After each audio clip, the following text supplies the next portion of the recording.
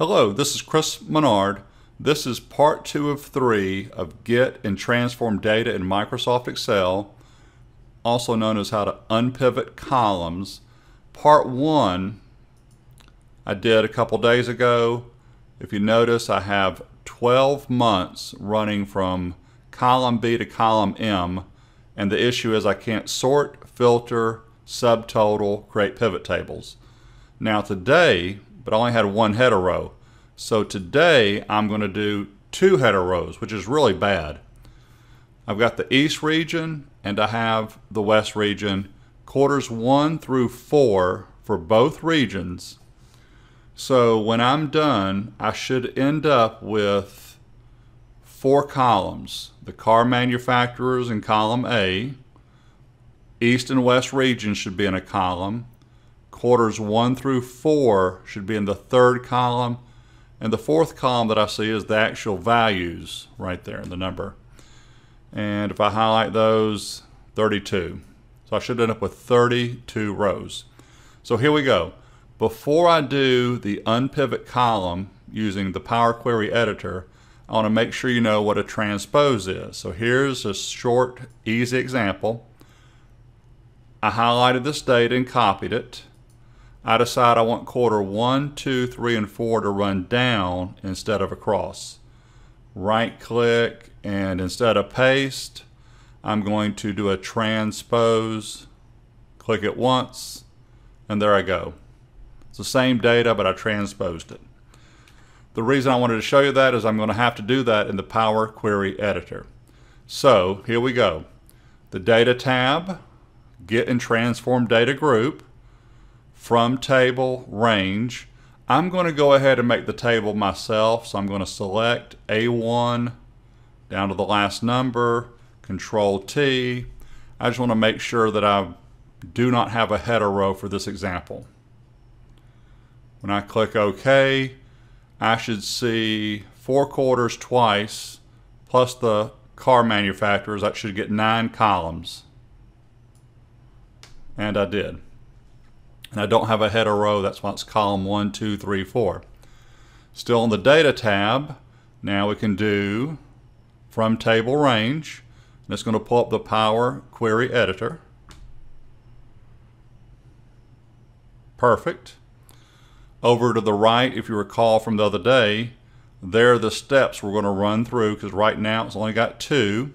So as I run through here, they'll continue to be added on. If you make a mistake, you delete the step because there is no undo. So here's the first thing I need to fix. I know I don't want any blanks, especially with the word east. It says null next to it, and then column 4 has null, and column 5 has null. Then we get the same thing with the word west. It needs to go east, east, east, east, then west, so what I'm going to do is I'm going to go to the Transform tab and I'm going to go ahead and transpose this data with the Power Query Editor. So if it works correctly, over in the first column should now be my regions.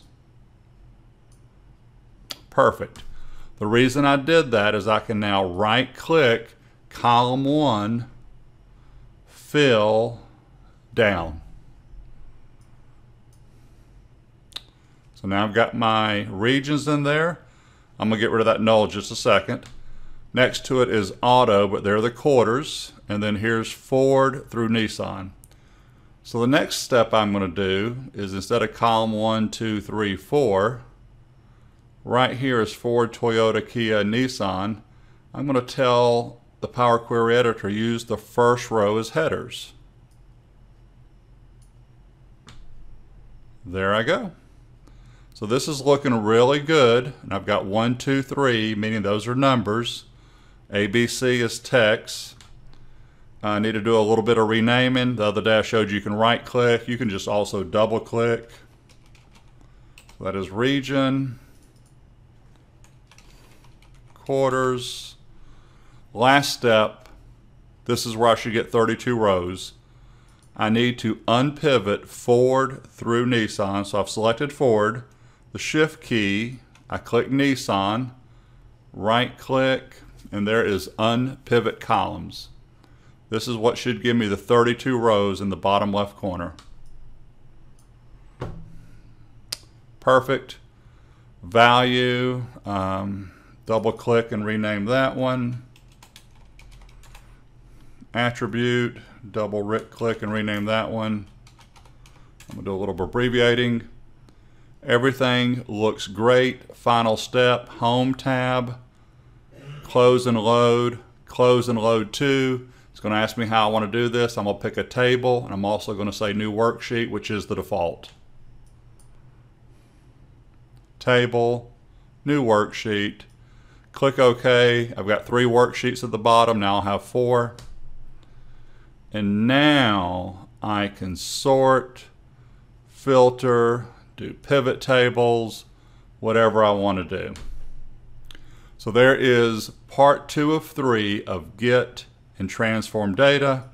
This one had two header rows to begin with, east and the quarters.